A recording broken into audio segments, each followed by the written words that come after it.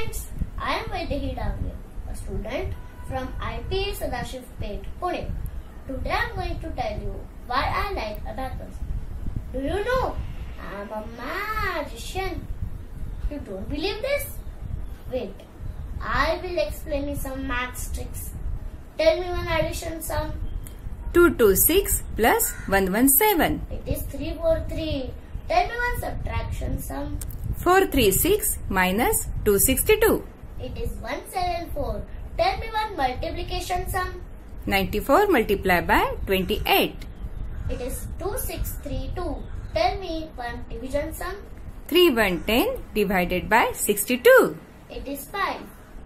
Friends, this is possible because of our online abacus class.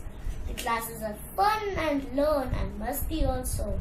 I enjoy the classes very much and look forward attending every day.